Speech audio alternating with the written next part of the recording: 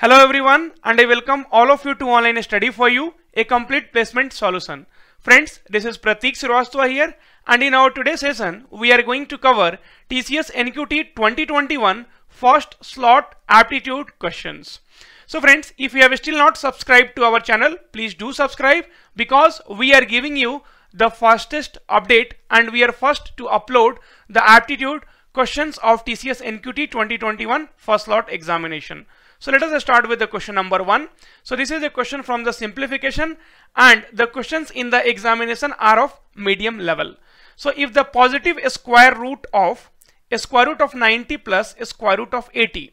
So if you are calculating a positive a square root of these values okay and then if you multiply by a square root of 2 minus 1 and if the product is raised to be 4 then what will be the result? Okay. Friends in the calculator you cannot calculate a square root. So what we can do friends as you know 9 square will be equal to what? 81 right? So this will be nothing but 9 okay. So this will be near to 9 we will see friends what is your answer? Accordingly we will decide. And then friends plus. So a, square root of 90 friends as you know 95 square we can easily calculate because already I have taught you the square of number ending with 5 5 5s are 25 and 9 you increase by 1 it will become 10 so 9 into 10 will be 90 okay? So it will be nothing but 9.5 okay? We are calculating the near values. So it will be 18.5 right? So we calculated the square root of this okay? And then above that we have one more square root into a square root of 2 will be 1.414 right?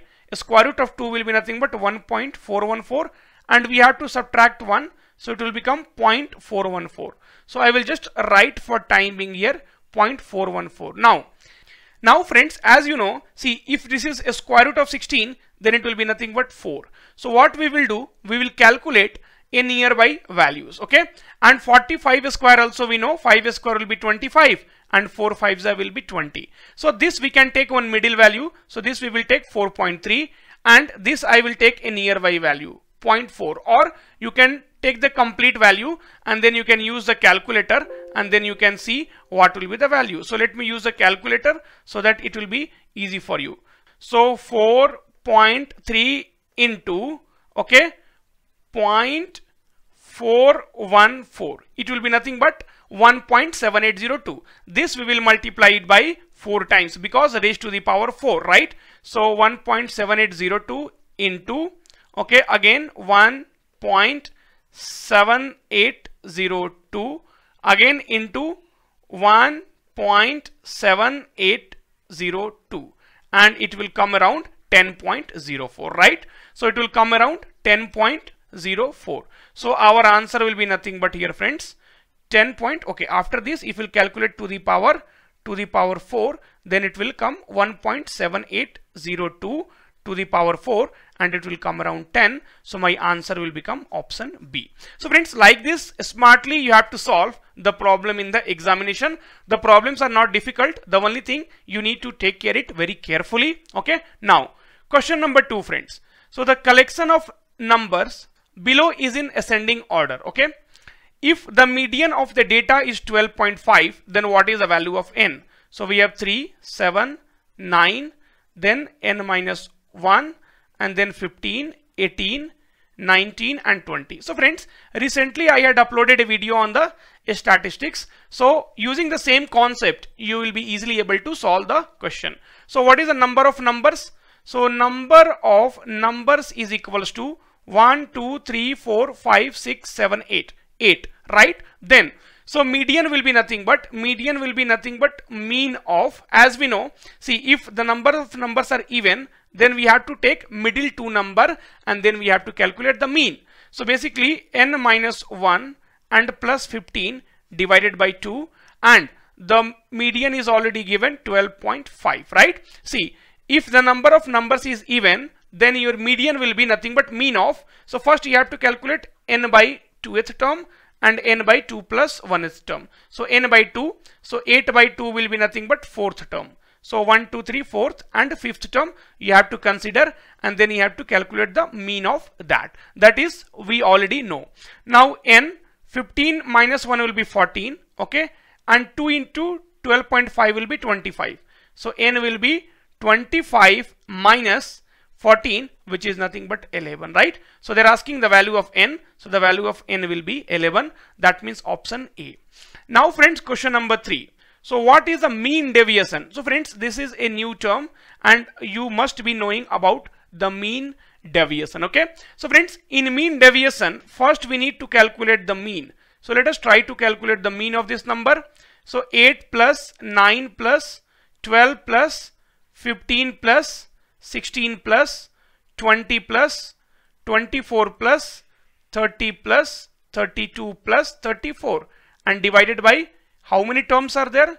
So we calculated the, we are going to calculate the mean 1, 2, 3, 4, 5, 6, 7, 8, 9, 10. So divided by 10. Total if you add friends, you will be getting around 200. So you can take the help of calculator. 200 by 10 will be nothing but 20. So we got the mean value.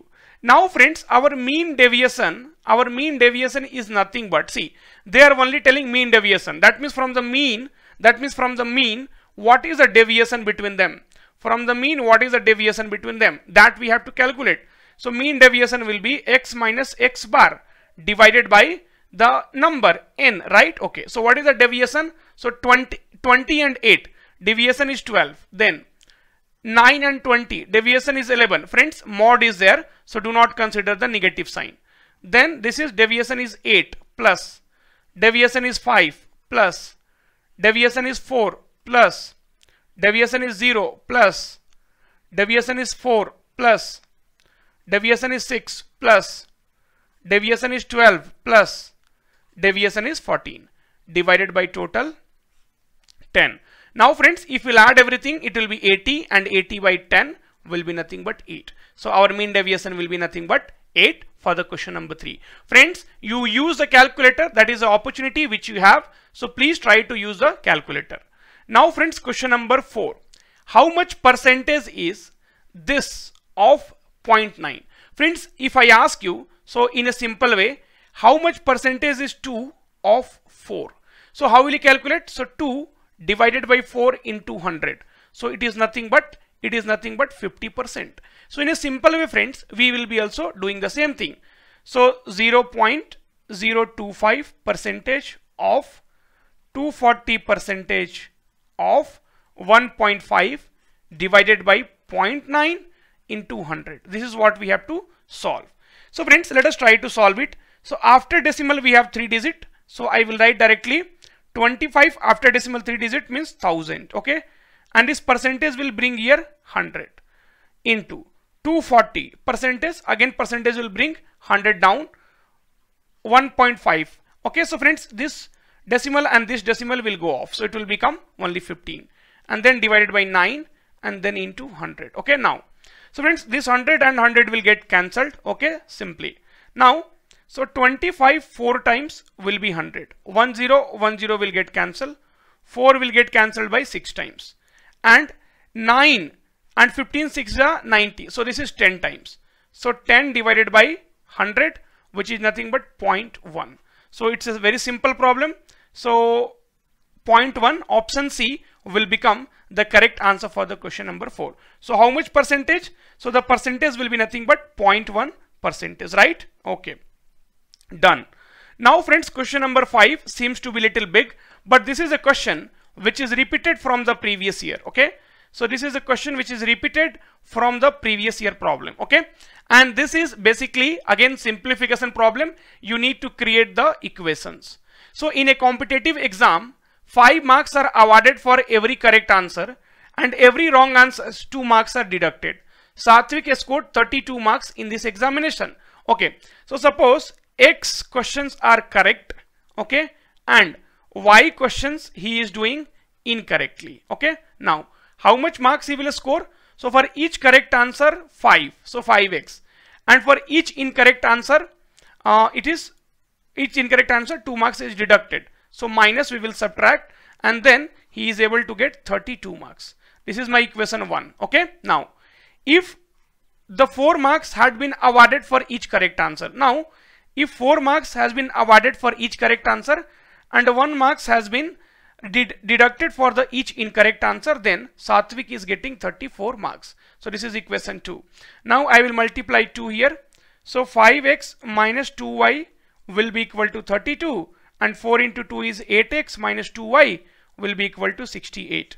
So this is minus plus minus. This will get cancelled. 3x will be equal to minus we will ignore. 8 minus 2 is 6 because here also you are getting minus. x value will be nothing but 12. Now put the value of x here. So 4 into 12 minus y will be 34. So y will be equal to 48 minus 34. So 8 minus 4 is 4, 14.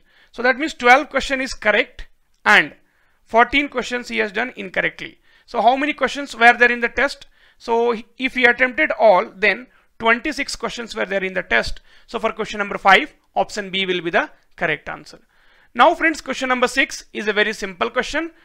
5 to the power x into 3 to the power y is equals to 225 into 405. Basically we have to factorize. So 225 is nothing but 15 square, 15 into 15. So that is 5 into 3 and then 5 into 3. So I can write 5 into 3 into 5 into 3. Then 405. So if we'll try 5 81 times, then 327 times, then 3 9 times and then 3 3 times. So 5 into 3 to the power 4. So basically if you'll see 5 3 times, so 5 cube and 3 4 plus 2 times 3 to the power 6.